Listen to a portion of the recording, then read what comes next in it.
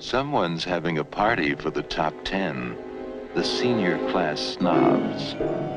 Before they get to celebrate, six of them will die in the most bizarre ways you'll ever see. Virginia, don't go away. Come over here, Virginia. It is up to you to determine whether you wish to subject yourself to fear, terror, and shock.